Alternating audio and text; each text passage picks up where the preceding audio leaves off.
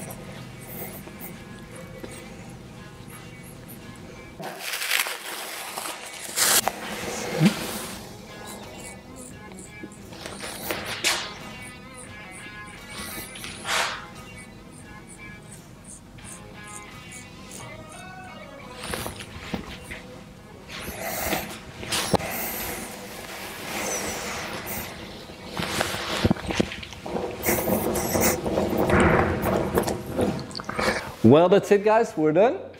Super cool change, short fade in the back, actually a taper down to a number one. You always want to know the numbers. So one, two, and three.